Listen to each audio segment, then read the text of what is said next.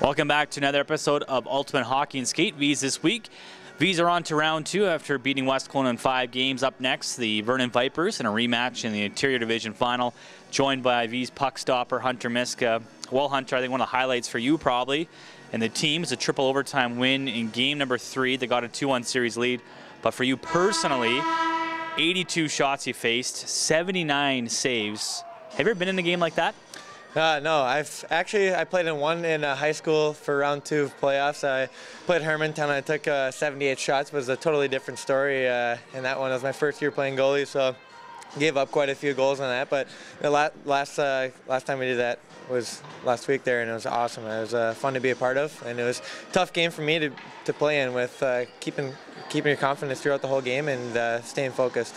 Hunter Miska stopped a lot of shots for the Vees already, looking to do more so against Vernon starting this weekend. With one of the returnees from last year's Vernon Vipers Vees playoff series, number 15, Jack Ramsey. And Jack, uh, last year was tough. Double, uh, overtime loss here in Game 7 of the SOEC. How long have you been waiting for this rematch?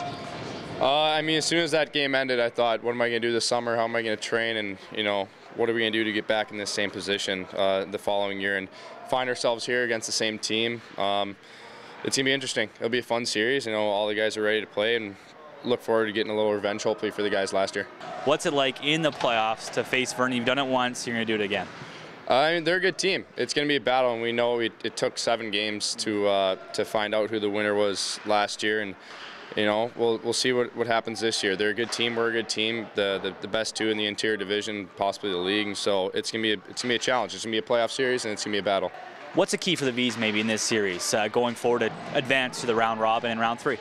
I think we uh, look back on what gave us success uh, in the last round against West and it's that we have four lines and great D pairs and great goaltenders. So we use our whole team. You know, we don't sit anyone on the bench, and so we use our whole team so we don't get as tired, and so hopefully we can run them down.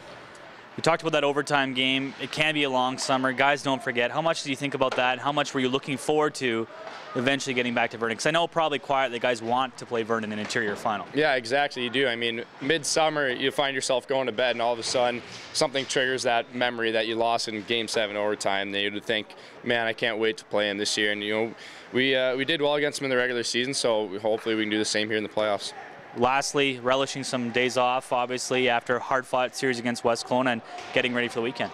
Yeah, no, it's uh, it was nice getting a couple of days off. The weather is nice out here, so we try to keep our minds focused on hockey and whatnot. But yeah, everyone can use it. The uh, rest up the bodies, and so they got the same rest as we did. So everyone's gonna be charged up and ready to go.